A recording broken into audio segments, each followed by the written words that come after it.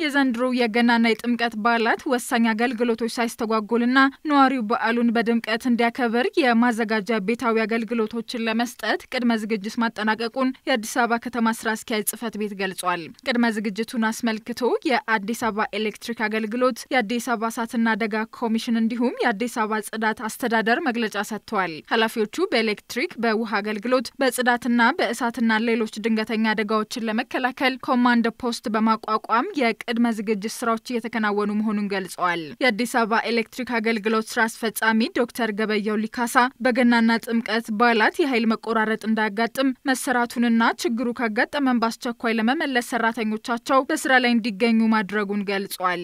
ለዚህ በዓል ደግሞ ለየት ባለ ሁኔታ ተገቢው ዝግጅት ተደርጓል። በተለይ ደግሞ ሁሉም ሰራተኞቻችን stand by ናቸው። ቅዳሜም እሁድም የኃይል መቆራረጥ ካጋጠመ በፍጥነት አገልግሎት ውስጥ ማስገባት እንዲቻል ሁሉም ሰራተኞቻችን stand by ናቸው።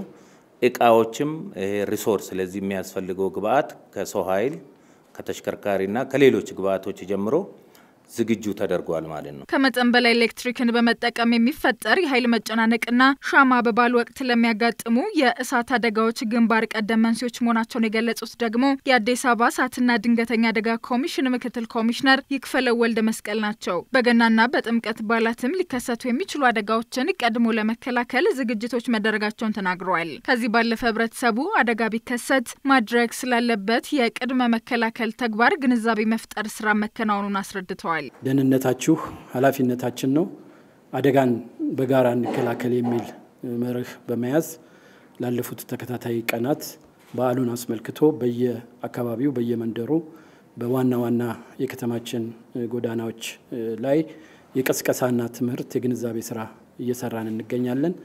ከዚህ በተጨማሪም በዕለቱ ከአቅም በላይ በሆነ ሁኔታ አደጋ ቢከሰት አደጋውን መከላከል የምንችልበት ቅድመ ዝግጅት ተሽከርካሪዎቻችንን የውሃ አቅርቦታችንን በተገቢው አደራጅተን ሰራተኞቻችንን ተገቢውን orientation ሰጥተን ኮማንድ ፖስት አደራጅተን ዝግጁ ሆነን እየጠበቅን ነው የምንገኘው። የጽዳት አስተዳደር ኤጀንሲ ምክትል ዳይሬክተር ሳዲቅ ሽኩር በበኩላቸው ከበዓላትና ከእርድ ጋር ተያይዞ የሚከሰቱ ተረፈ ምርቶችን ለማጽዳት በበቂ የሰው ኃይል ዝግጁ ነኝ ሲል ገልጿል። ገና እንደሚታወቀው ከእርድ ጋር የተያያዘ ብዙ እርዶች የሚከናወኑበት በዓል ነው።